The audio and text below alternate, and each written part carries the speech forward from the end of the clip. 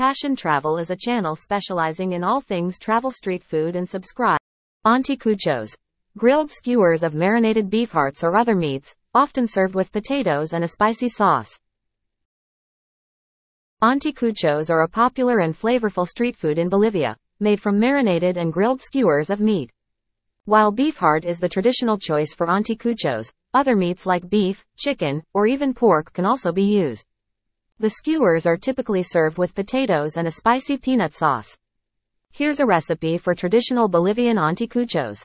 Ingredients. For the marinade. 2 pounds beef heart, beef, chicken, or pork, cut into bite-sized pieces. 1 quarter cup red wine vinegar. 2 cloves garlic, minced.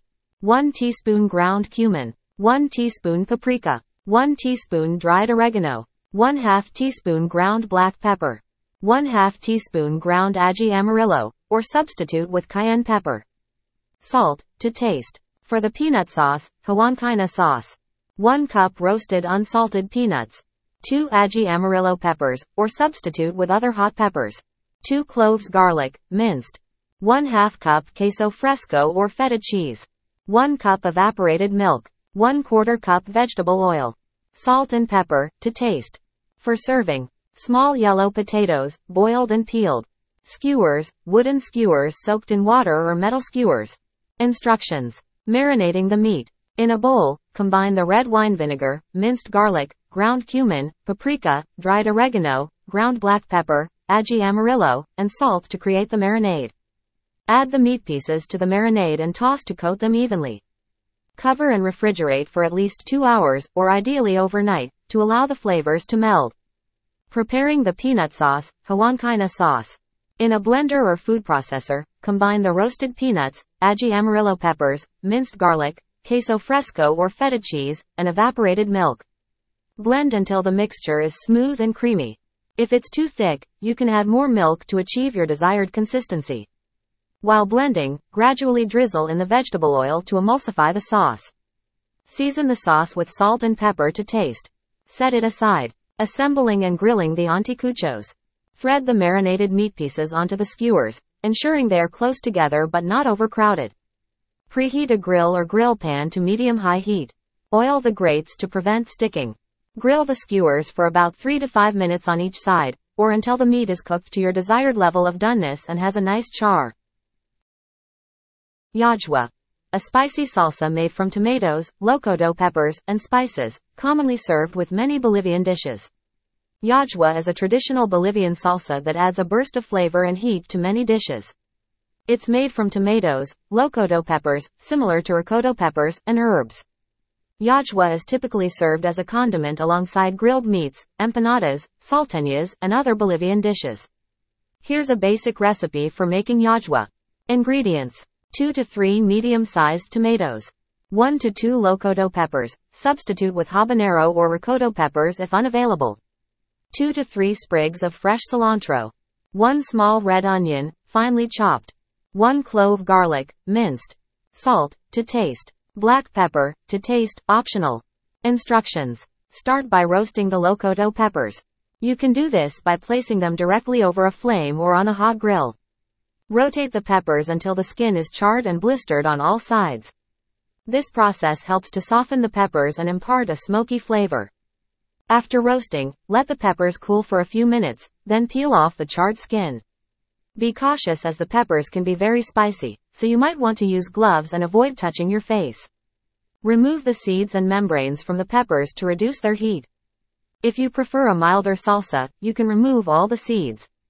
For a spicier llajwa, leave some seeds in.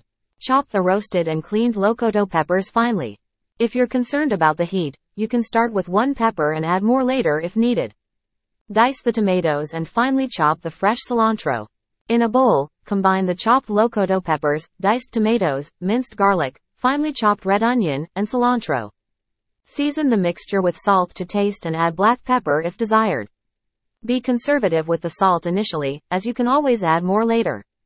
Gently stir the ingredients together until they are well combined. Taste the llajwa and adjust the seasoning, adding more salt or pepper if necessary. Keep in mind that the flavors will develop and intensify as the salsa sits. Cover the llajwa and refrigerate it for at least 30 minutes before serving to allow the flavors to meld.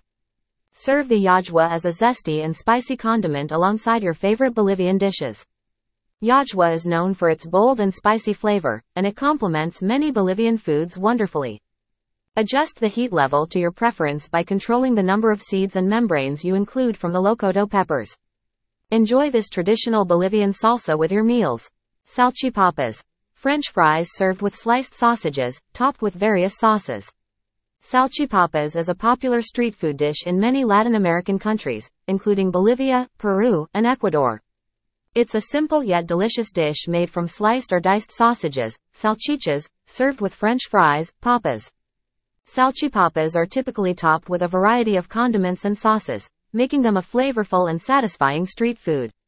Here's a basic recipe for making salchipapas.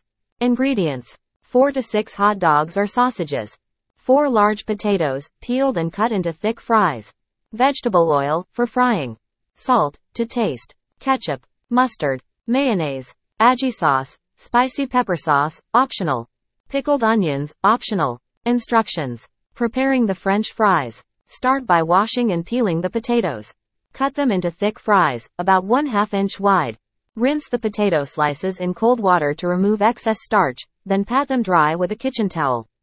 Heat a deep fryer or a large pot with vegetable oil to 350 to 375 degrees Fahrenheit, 175 to 190 degrees Celsius. Carefully add the potato slices to the hot oil, working in batches if necessary to avoid overcrowding the fryer or pot. Fry the potatoes until they are golden brown and crispy, which should take about 5 to 7 minutes per batch. Use a slotted spoon or a spider strainer to remove the fries and place them on paper towels to drain any excess oil. Season the hot French fries with salt immediately after removing them from the oil. Preparing the sausages. While the french fries are frying, you can prepare the sausages. You can either grill or pan fry them until they are cooked and slightly browned. Once the sausages are cooked, slice them into bite-sized pieces or leave them whole, depending on your preference. Assembling the salchipapas. Place the hot, crispy french fries on a serving plate. Arrange the sliced or diced sausages on top of the french fries. Drizzle ketchup, mustard, and mayonnaise over the sausages and fries. You can also add aji sauce or other condiments for extra flavor and heat. Optionally, top the salchipapas with pickled onions for a tangy and crunchy contrast. Serve the salchipapas immediately while they are hot and enjoy this flavorful street food dish. Salchipapas are a popular street food because of their simplicity and satisfying flavors. They can be customized with various condiments and sauces to suit your taste, making them a versatile and beloved dish in Latin American cuisine. Humintas. Steamed corn cakes made from a mixture of ground corn, cheese, and spices, wrapped in corn husks. Humintas are a delicious and traditional South American dish, particularly popular in Bolivia, Peru, and parts of Argentina. These savory corn cakes are made from a mixture of ground fresh corn, cheese, and spices, all wrapped in corn husks and then steamed or boiled. Humintas are a beloved street food and also enjoyed at festivals and family gatherings. Here's a basic recipe for making Bolivian-style humintas. Ingredients. 6 to 8 large ears of fresh corn, or 3 to 4 cups of corn kernels. 1 cup fresh cheese, queso fresco, crumbled.